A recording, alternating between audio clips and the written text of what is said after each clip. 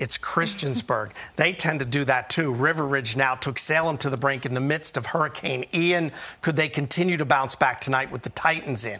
Let's get a look. And congrats to the homecoming King Mason Self and Queen Aubrey Shanks. And down 22 to 10 second half, Braden Moore to Javon English. That is a 59 yard gallop and go.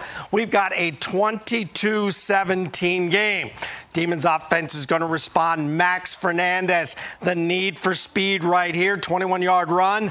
Later in the drive, fourth down. Fernandez from 10 yards out, 29 17. Titans trying to stay in it, but it just did not happen. Christiansburg 43 17, your final.